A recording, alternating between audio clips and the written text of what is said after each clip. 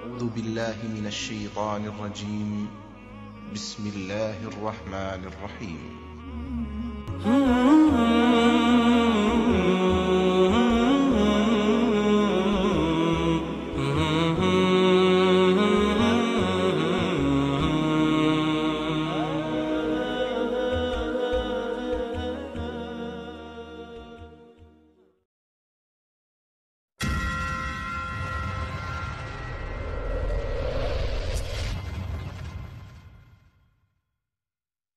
আসসালামু আলাইকুম রহমতুল্লাহ বরকাত হামিদ মুসাল্লান আমাবাদ আউদ বিল্লাহিমিনাশাইতানিম বিসমিল্লাহ রহমান রাহিম। একজন ভাই প্রশ্ন করেছিলেন যে, কোনো মুসলিমের জন্যে হোলি উৎসব পালন করা জায়েজ কিনা? এভাবে ভাই জানতে চেয়েছেন। আলহামদুলিল্লাহ, ভাই খুব সুন্দর প্রশ্ন করেছেন। এ ব্যাপারে আমাদের জানা দরকার প্রথমে যে, কোনো মুসলিমের জন্যে হোলি উৎসব উদযাপন করা কোনো অবস্থাতেই জায়েজ নয়। এটা হচ্ছে এক প্রকারের শির্ক। এটা হচ্ছে এক প্রকারের শির্ক। কেননা যেটা হোলি উৎসব, তার সম্পর্ক হচ্ছে হিন্দু দেব মানে দেব দেবতার সঙ্গে। দোলযাত্রা বা হোলি উৎসব, তার সম্পর্ক হচ্ছে হিন্দুদের দেবদেবীর সঙ্গে। হিন্দু ধর্ম মতে দোলযাত্রা বা হোলি হচ্ছে হিন্দু বৈষ্ণব উৎসব, যার আর একটা নাম হচ্ছে বসন্তোৎসব।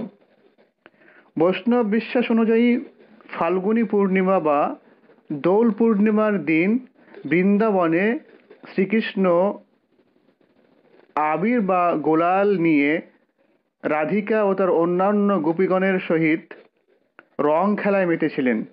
অর্থাৎ যে কৃষ্ণ দেবতা, সে তার যে মানে প্রেমিকা বা তার যে অন্যান্য মানে গোপী ছিল, তাদের সঙ্গে রং খেলায় মেতেছিল সেই নিয়ে এই হোলির প্রচলন।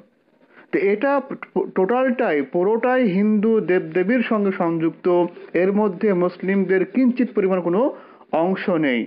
সেজন্য যেহেতু এটা অন্য ধর্মের দেব দেবতার দেব মানে দেবদেবীর সঙ্গে সংযুক্ত বা সম্পর্কিত, সেজন্য কোনো মুসলিমের জন্য এই উৎসব পালন করা জায়েজ নয়। এটা শির্ক হয়ে যাবে। কারণ আল্লাহ তাআলা বলছেন, সূরা আম সূরা নম্বর ছয়, আয়াত নম্বর একশো একান্ন এবং বাহান্নর মধ্যে যে, কুল ইন্না সলাতি ওয়া রুসুকি ওয়া মাহইয়ায়া ও মামাতি লিল্লাহি রাব্বিল আলামিন। আল্লাহ তাআলা বলছেন, হে নবী, তুমি বলো যে, নিশ্চয়ই আমার সলাত আমার কোরবানি, আমার জীবন, আমার মৃত্যু সব কিছুই আল্লাহ তাআলার জন্যে, লা শরিক আলাহু সেই আল্লাহ যার কোনো অংশীদার নেই।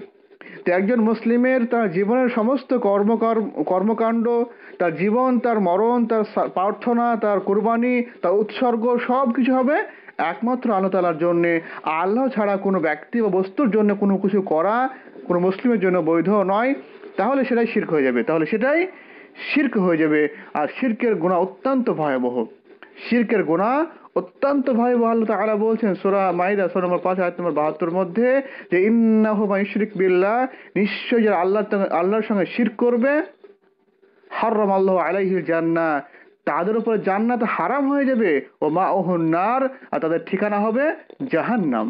অন্যত্র আল্লাহ তাআলা বলছেন, সূরা ইব্রাহিম, সূরা নম্বর 14 আয়াত নম্বর 30 এর মধ্যে, যে ওজা আলুলিল্লাহি নির্দান তারা আল্লাহর সঙ্গে অংশীদার বানিয়েছে, তারা আল্লাহর সঙ্গে শির করেছে। কুল, হে নবী, তুমি বলো, তামাত্তাউ, তোমরা দুনিয়ায় যতদিন বেঁচে রয়েছ, আরাম আয়েস আনন্দ, উৎসব করে নাও ফা ইন্না মাসিরুকুম ইলান নার, কেননা মৃত্যুর পরে পরে তোমাদের ঠিকানা হবে জাহান্নাম।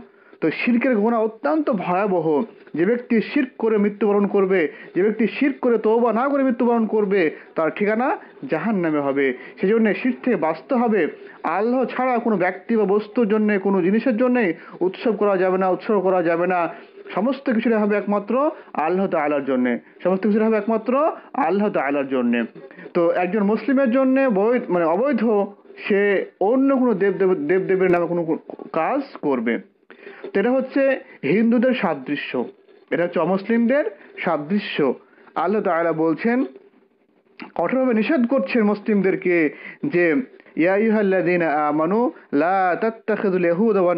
আউলিয়া।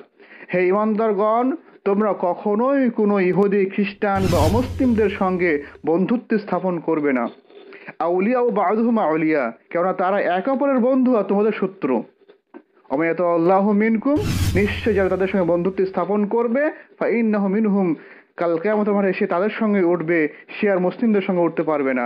ইন্না আল্লাহ ইয়াদিল কৌমাজ জালিমিন নিশ্চয় আল্লাহ তাআলা অত্যাচারী সম্প্রদায়কে সঠিক পথ দেখান না। সূরা মাইদা সূরা নম্বর পাঁচ, আয়াত নম্বর একান্ন। অন্য তাআলা বলছেন, যে আইয়ুহাল্লাযীনা আমানু, লা তাত্তাখিযুল্লাযীনা ইত্তাখাযু দীনাকুম হুজুমা ওয়া লাঈবাম মিনাল্লাযীনা উতুল কিতাবা মিন ক্বাবলিকুম ওয়াল কুফফারা আউলিয়া। আল্লাহ তাআলা বলছেন যে, হে ইমানদারগণ, তোমরা কখনোই ওই সমস্ত কাফের মুশরিকদের সঙ্গে বন্ধুত্ব স্থাপন করবে না। যারা তোমাদের ধর্মকে, যারা তোমাদের দিনকে ঠাট্টা বিদ্রুপ মনে করে। আজ দেখুন এই আয়তের বাস্তবতা। আজ মুসলিমদের যে ইসলাম ধর্ম বা মুসলিমদেরকে নিয়ে প্রত্যেকটা জাতি, প্রত্যেকটা অমুসলিম জাতি কত না ঠাট্টা বিদ্রুপ করছে, কত না অত্যাচার চালাচ্ছে, কত না তাদের ধর্ম নিয়ে ছিনিমিনি খেলছে। আমাদের আমাদের ইন্ডিয়াতে দেখুন, তালাক নিয়ে কি হচ্ছে? তালাক নিয়ে কি হচ্ছে? তালাকের যে তিন তালাক নিয়ে কি হচ্ছে আজকে বর্তমানে?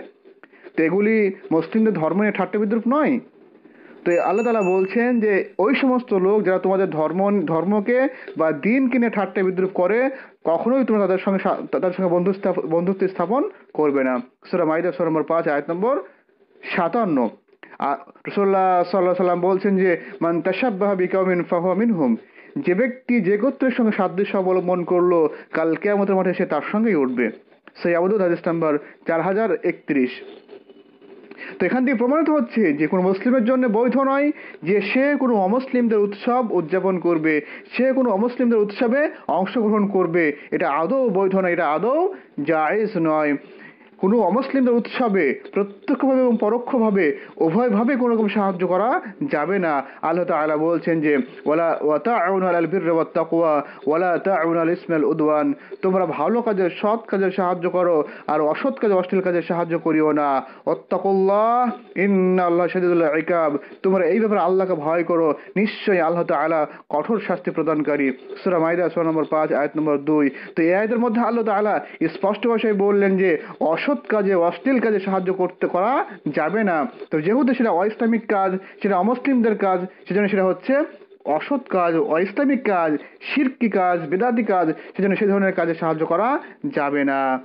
তো মোট কথা হচ্ছে যে কোনো মুসলিমের জন্য এমন কোনো কাজ করা বৈধ নয়, যেটা আল্লাহ বাদ দিয়ে অন্য কোনো দেব দেবী বা দেবতার নামে উৎসর্গ হচ্ছে।